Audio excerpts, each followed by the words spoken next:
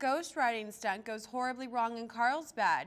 Europe is on a terror alert, and the Padres come up short in San Francisco. Hello, I'm Brittany Ford with this news brief.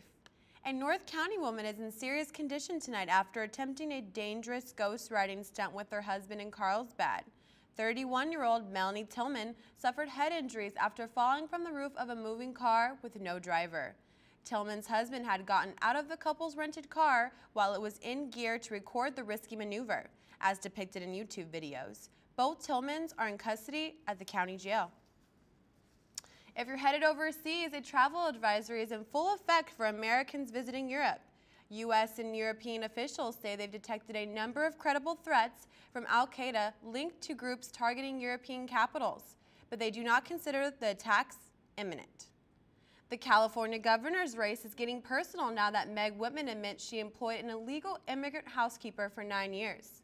Whitman is accusing her opponent, Jerry Brown, of orchestrating a smear campaign against her, while Brown is calling on Whitman to take responsibility for her mistakes rather than blaming others. The Padres season is over after a 3-0 loss to the San Francisco Giants. The Pods fell one game short of reaching the playoffs, but the team exceeded all expectations, winning 90 games for the fourth time in franchise history.